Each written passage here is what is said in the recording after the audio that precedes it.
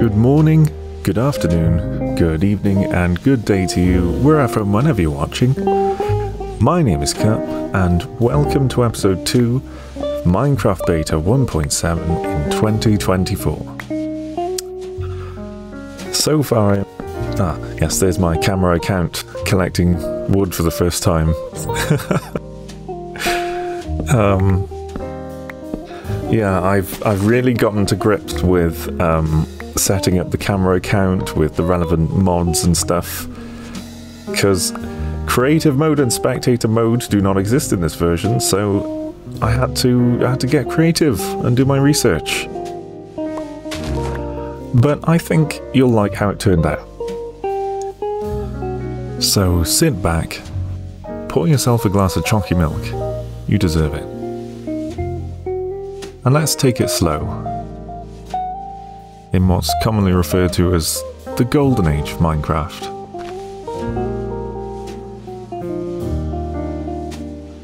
Ah.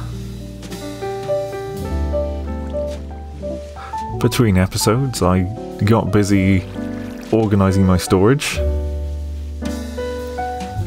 Of course, you can't see any of that, you could just see me looking at some chests and poking around occasionally. You'll have to take my word for it. I also uh, started work on gathering resources, gathering lots of cobblestone. Um, I dug a little skylight above the ladder shaft to let some light shine down.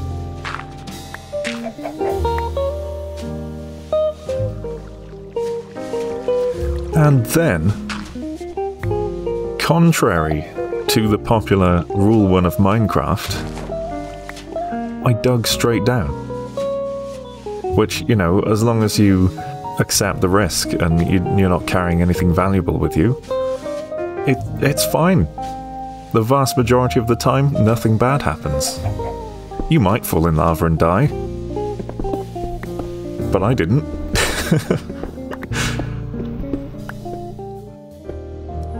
I started a branch mine at Y level 16 because that's kind of the optimum where literally every kind of ore spawns. You get diamonds, redstone, gold, iron, coal, all of them. I also uncovered a dungeon with a spawner at the end of this uh, this branch. You know, I think it's there's something meditative about counting along um, your branch mine. So this is the way I've, I've always done branch mining since the early days. We go every six, because statistically, the number of ores you're going to encounter compared with the number of blocks you're digging is most efficient at six apart. You may miss some ores. There might be ores in the middle that you miss. Um, but it kind of doesn't matter because it's just effort versus return is all that matters, really. But yeah, the process of counting blocks. I don't really count numbers in my head. I, I've just developed a feel for the rhythm. We we just go.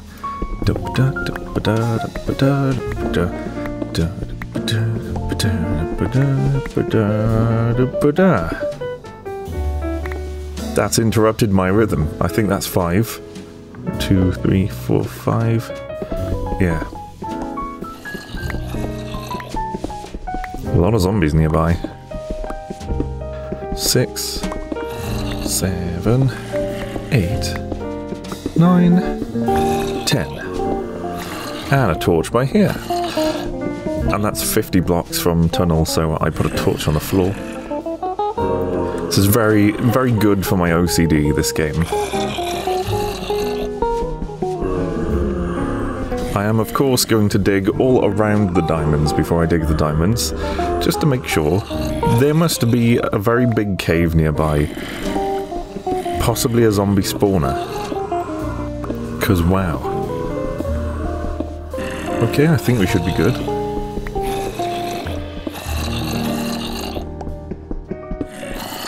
My oh, we've got something up there too. Nice, nice, nice. My first diamonds. Yeah. That's enough for two pickaxes. Okay, okay, where's this cave? This way?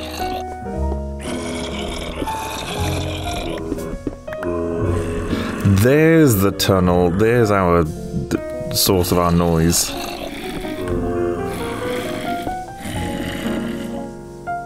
Hold on while I close my curtain so I can see better in the dark. Machine gun! I adore the old bow mechanics just because they're silly. It's it's silly the way bows work in this one. Which is fine because this isn't real, it's a video game. Some lapis. Which I think is the only way that you can get blue. That was the thing, if you look at uh, like fashion through history, certain colours, especially if they were very vivid, strongly dyed colours, were very expensive and difficult to produce because they required rare minerals or rare ingredients. And it's why, if you look at, for example, ancient Greece, or was it ancient Rome? I confuse those two a lot, but uh, purple was a very wealthy colour to be wearing, to the point where, um, like, lower, sort of middle middle classes might be able to afford a thin sash with a streak of purple on it, and you would have to be extremely wealthy, perhaps even emperor, to have a robe that is all purple. Yeah, colour was a good way to show your wealth. And that was something that I remember at the time I appreciated about this version of Minecraft being like, I'm going to have all blue carpet floors. Oh, there, there it is. Is it, is it below? You can't hear if something's above or below you. Ooh, cobblestone. Yes, there's a dungeon here. There's a spawner. Yes, hello. They have quite a long reach. Oh, there's a creeper. no. Uh oh.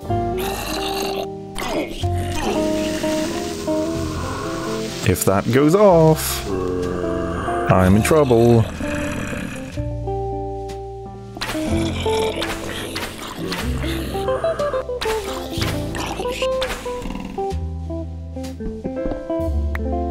Is it safe?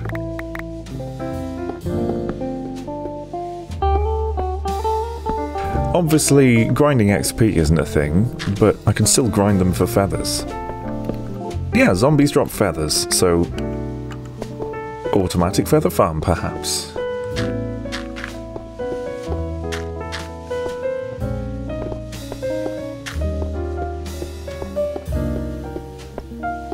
Oh, and the mossy cobble! Forgot about that. Ah, also, my cobblestone texture that I was going to get.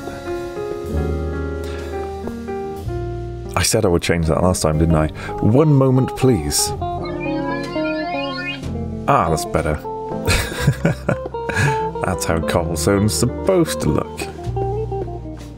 See, the thing that uh, reminded me was that when they softened the appearance of cobblestone, they did not change the appearance of mossy cobblestone at the same time, so it looked a bit out of place for a while. So uh, I have collected all of the mossy cobble. Mossy cobblestone is extremely rare. It only spawns in these. These are called dungeons. This is what a dungeon is. Great. Oh, more moss stone. Is it mo ah moss stone? Yeah, that's what it's supposed to be called. Just cooking up some pork chops.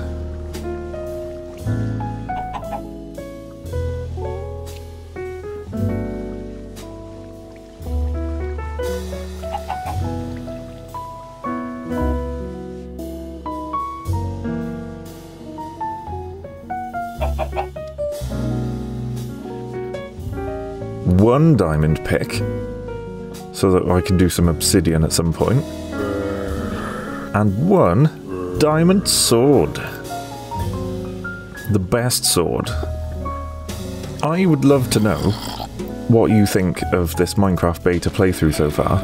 Like, if, if you're watching at this point, jump into the comments section and let me know what you like about this. What, what floats your boat here? Two hits for creepers. Nice.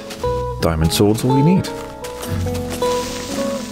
The situation with the farm that I built is that animals keep spawning inside it, and that's no good. Oh, and when they don't spawn inside, sometimes they fall down from here and end up in here, and players or mobs or anything walking on tilled soil uh, tramples it. The only way to avoid that is to sneak while you're walking on tilled soil. Also, my tree farm, I need to cap the height of these, so it would be beneficial for my crop farm and my tree farm to be indoors. And the question is, do I build a building outside to do this, or do I dig underground to do it? Both would be cool. Oh, I can make myself some armor. I forgot about that. I often forget that that's a thing. you can you can protect yourself from damage. I kind of want to make uh, a greenhouse. A greenhouse would be cool. Need to find sand. I think there's some sand over that hill, but uh, let's prepare and we'll go on a journey. Shovels at the ready. Let's go find some sand.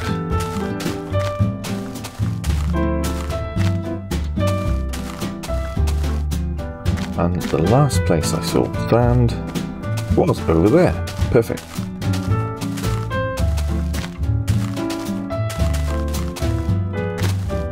Thank! Tasty chops. See, wild animals spawn so much in the wild that you, you don't really need to farm animals in the early game.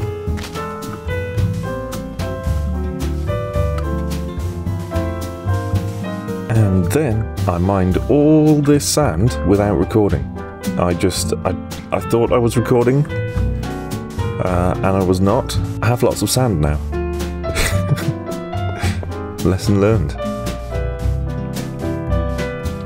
Just to clarify, there was quite a large heap of sand in this area before I before I did the digging.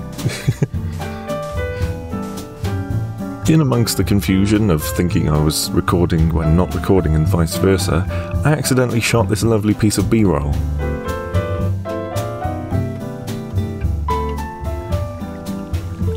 Nice. So, let's get cooking. Sand is a lot more useful than glass. I'm just gonna... I'm just gonna smelt all of this sand. Sorry, I said that backwards. Glass is a lot more useful than sand. Yeah. Let's cook some pork chops. So, a single piece of coal and a swift hand. Because you've gotta wait around, drop it in, shift click. Oh, and the, the text is in front of the pork chop, look. That's weird. And if you're quick enough, you can get 7 on a single piece of coal. Not the 8 you'd expect.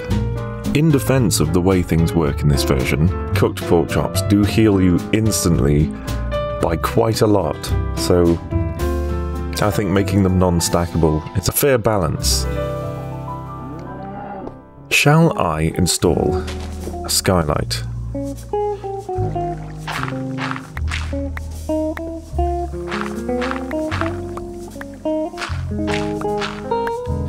I think that would be cool.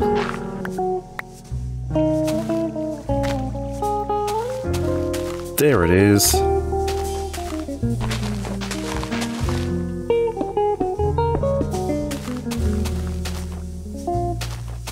I think that that's not that's not terribly conspicuous.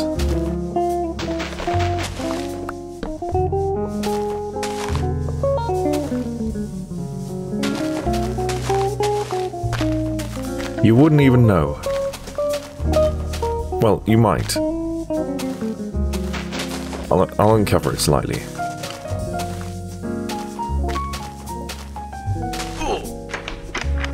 But now, um, daylight is a bit brighter in here.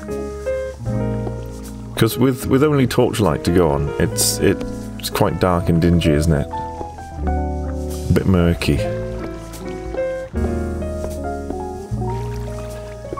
Like that. Decorate that with some cobble now. That's right, I said decorate with cobblestone. so that it looks deliberate. Perhaps I should have like a separate bedroom. Oh, this bit here. Um, this little little one man hole. Um, that was gonna be for my camera account because I could like hide it in there and then use FreeCam, but FreeCam don't work so well. So he's I say he like he's a person. my camera account is just is just a flying just a flying dude in the sky. I do hear a lot of running water um, near my base, so I think I need to address that at some point soon. Okay, let, let's let's dig forwards to what I've already built up there. Is that ah there it is, yes. Here we go. I think for completeness, I know it's on the inside, but some cobble there.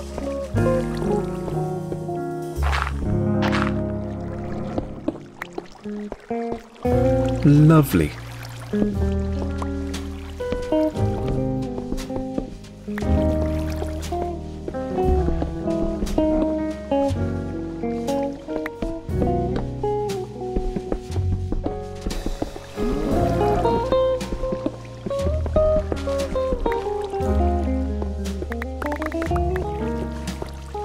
So satisfying clearing gravel that way.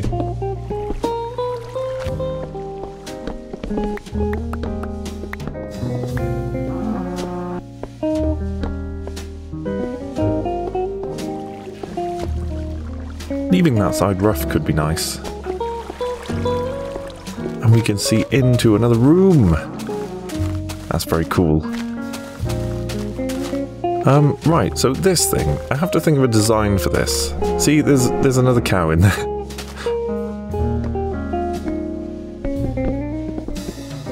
oh yeah. Slabs are made of stone.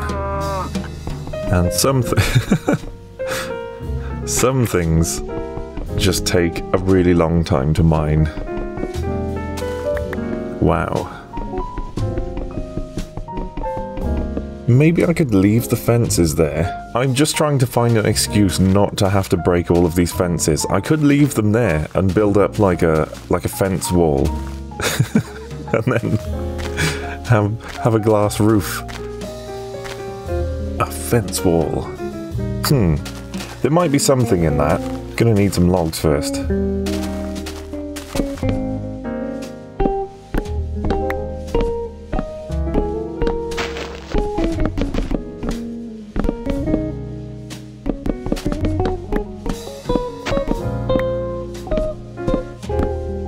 Saplings. Well, that's going to be good for the tree farm, isn't it? When uh, when I build that next. I think this really, really highlights the need for a tree farm now. Dealing with those, like, the extra big trees where you have to climb up and fish around for the branches.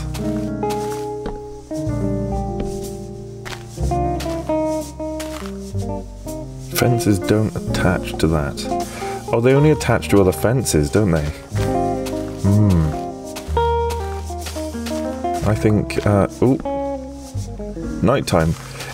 I like how noticeable nighttime is. You just, you see a wave of darkness sweep the land and you're like, oh, it's time to sleep. You can only sleep at night. Ah. One more?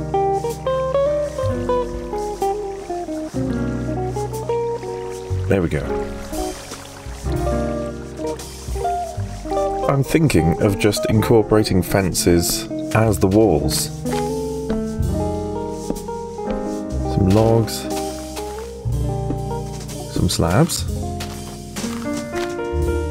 So it's just like a very low kind of thing with a with a low ceiling so that I can't jump. But then how would the glass go in?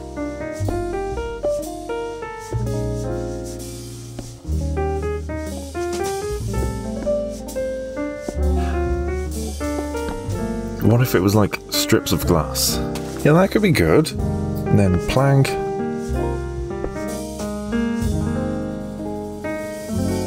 Glass. I like it.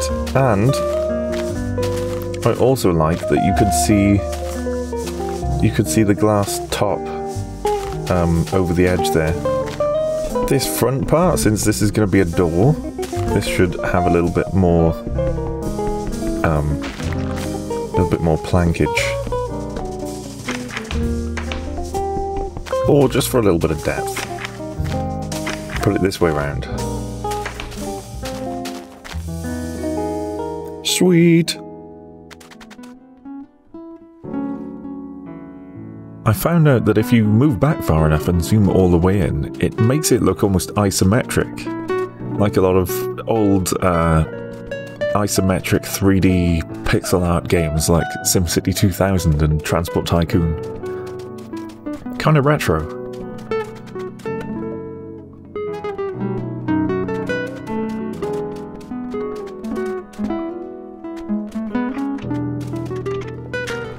And that, oops, throwing things on the ground, crafting again. I could, I could hide water underneath the corners, couldn't I? And have a little gravel path in the middle. A log. Here we go. Look at look at the water spilling out of the water bucket. Isn't that cool? Like that's that's a nice graphic.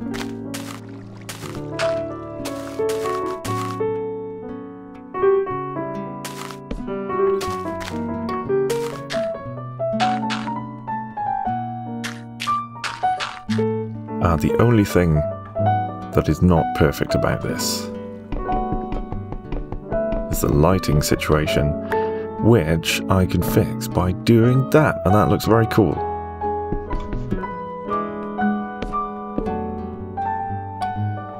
My crops are safe. Kind of want easy roof access. Just in case, you never know when you'll need some easy roof access. Could texture that up with some signs. There, it's got it's got a little bit of 3D. I feel like a pro builder. Because I added some stuff. Hmm, okay, the next thing would be tree farm. Isn't there a word for that? Is it is there a word for that pig? Is it is it arboretum? I'll look it up. Arboretum, a botanical garden devoted to trees. I suppose, yeah. I'll call it the Arboretum, because it's nice. For the so-called Arboretum, I wanted to find somewhere I could build it that matched what was already going on, kind of building into the hill with bits of buildings sticking out. And my eye kept getting drawn to that little cave on the hill just above my base. I think that would look pretty good if there was a building sticking out there. And I just want to take a moment to reflect on what it's like playing in this version of Minecraft so far. Again. I won't shut up about it. Um, it certainly has a very, very different feel to modern Minecraft, and I don't claim for it to be the best or, or better than modern Minecraft, but it's definitely something you should try. Because variety is the spice of life after all, and you might enjoy trying something different.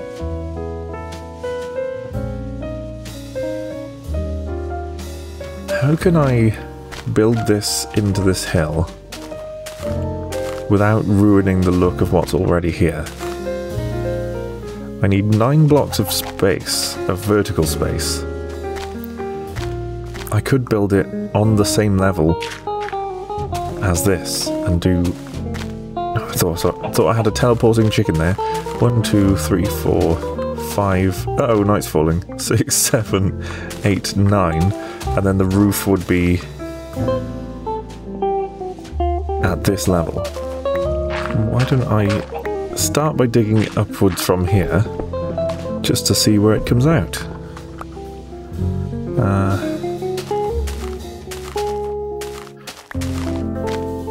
So that would mean the corner of this would be visible, but the rest of it would be sunk into the hill. I like that. I'm going to go with that. So if I just kind of outline this box, uh, it's gonna have to it's gonna have to come out to like here. That's fine. I'll build it first. I'll I'll cover it up and and you know build it into the hill later on. There, so that is that is it. I could replace some of this with logs. I've got an idea. While my idea's cooking up, I'm gonna get digging. Now, digging out this large space really highlighted to me how slow it is to mine in beta 1.7. Um, there are no enchantments and no beacons, so a diamond. A diamond? cut that out.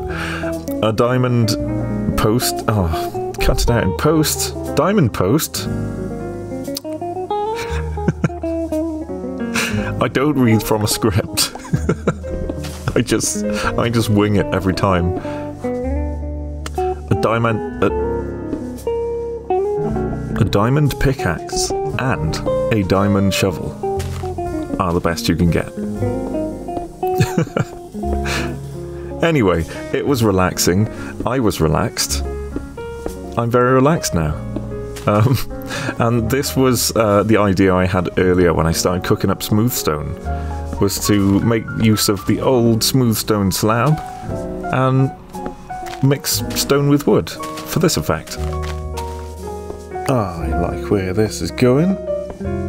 Um, I'm just gonna finish the interior now.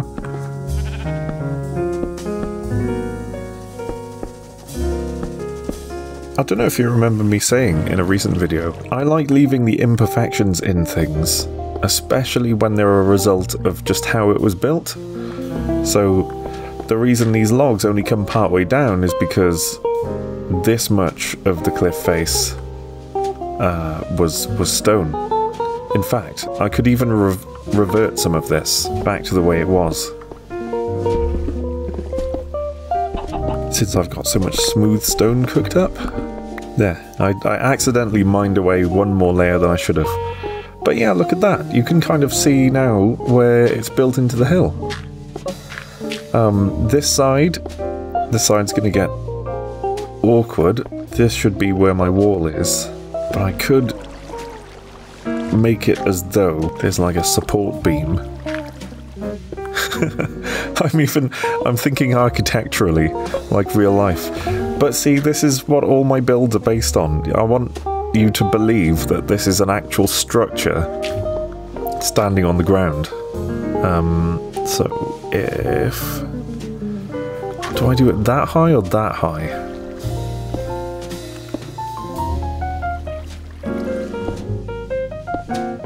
One of the downsides of playing such an old version, the mechanics of placing blocks are just broken in places. I'll finish mining the rest of this out later, I think. I've already got enough space to be growing trees, so let's get some saplings and see how that goes. So with 9 blocks of vertical space directly above each sapling, these oak trees should grow into nice, easily harvestable, manageable sizes. Oh! What's happened there then? It's kind of grown, but with no leaves. Oh, wait a minute. Oh, now I can't log back in. Give me a sec. So it did grow leaves, but my client just didn't think it had. Cool. And so the Arboretum is kind of finished for now.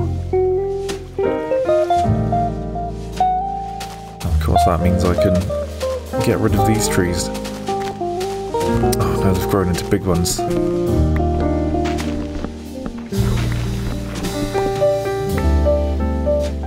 Was that? Oh, it was saplings falling into the water. False alarm. I think I've got them. And then this little area,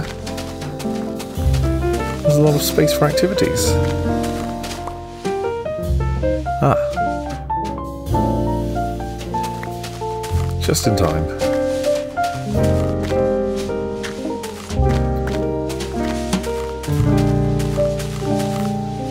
Uh, do all the YouTube things.